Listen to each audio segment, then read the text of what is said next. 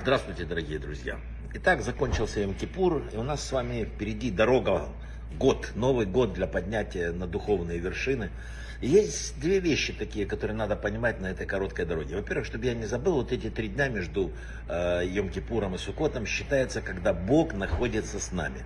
Эти три дня как бы вне праздников, но в то же время внутри они как бы рас, распространяются и на то, что было, и на то, что будет. Это волшебные три дня, надо их не пропустить. Итак, перед нами дорога. Дорога, которая каждый может выбрать себе э, свой путь на этот год. Кто-то наконец поймет и начнет духовно развиваться, кто-то скажет, у меня нет времени. Тут есть две проблемы как бы. Первое, надо идти своей дорогой, не чужой. Ну вот, эм, но цель-то одна, но вот дороги разные. Пять мудрецов, такая притча, заблудились в лесу. И первый сказал, пойду влево, так подсказывает моя интуиция. Второй сказал, я пойду вправо. Недаром считается, что право от слова прав. Ну, что третий сказал, я пойду назад. Мы оттуда пришли, значит, я обязательно выйду из леса. Четвертый сказал, я пойду вперед. Надо двигаться. Лес непременно закончится и откроется что-то новое. А пятый сказал, вы все неправы. Есть лучший способ, подождите меня. Он полез на высокое дерево, чтобы забраться на него. Пока он лез, все остальные разбрелись, каждый в свою сторону. Сверху он увидел, куда надо идти, чтобы побыстрее выйти из леса.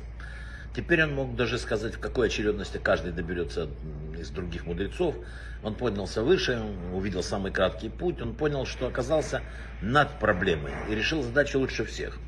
Он знал, что все сделал правильно, а другие нет. Они были упрямы, его не послушались, он был мудрецом, но он ошибался. Все поступили правильно. Каждый, кто думает, что его дорога верная, ошибается именно он. Тот, кто пошел влево, попал в самую чащу. Ему пришлось голодать, прятаться от диких зверей. Он научился выживать в лесу и стал частью леса. И потом учил ну, многих людей, как выживать в этой системе. Тот, кто пошел направо, встретил разбойников. Они отобрали у него, заставили вместе их грабить, но через некоторое время он постепенно разбудил в них человечность, сострадание, то, что было забыто. И они сами стали э, духовными людьми. Тот, кто пошел назад, положил через лес тропинку, которая вскоре превратилась в дорогу для всех желающих насладиться лесом, чтобы не заблудиться. И, наконец, тот, кто пошел вперед, стал первооткрывателем. Он побывал в местах, где никто не был, открыл новые возможности, удивительные лечебные растения и так далее. Да, и тот, кто влез э, на дерево, стал специалистом по нахождению коротких путей. К нему обращались те, кто хотели решить свои проблемы, даже если это не приведет к развитию. Так все пятеро исполнили свое предназначение в жизни. Вывод. У каждого из нас своя дорога. Не нужно тянуть за собой других, если они этого не хотят. Надо объяснять, но не тянуть. Не нужно уводить человека от его предназначения вообще. У человека все это разное. Вы знаете, я э, в потрясающем месте отмечал Йом-Кипур в э, Твери, в старинной Карлицтонской синагоге небольшая такая, совершенно фантастическая синагога чудес. Когда-то потоп подступал к Твери, дошел до порога синагоги и убежал. Э, очень-очень сильный э, Йом-Кипур такой, мне понравилось. Ну, вернемся к нашему короткому уроку. Есть еще в нашей вот этой пути, который мы сейчас пройдем, есть еще одна вещь. Я э, тоже притчей расскажу.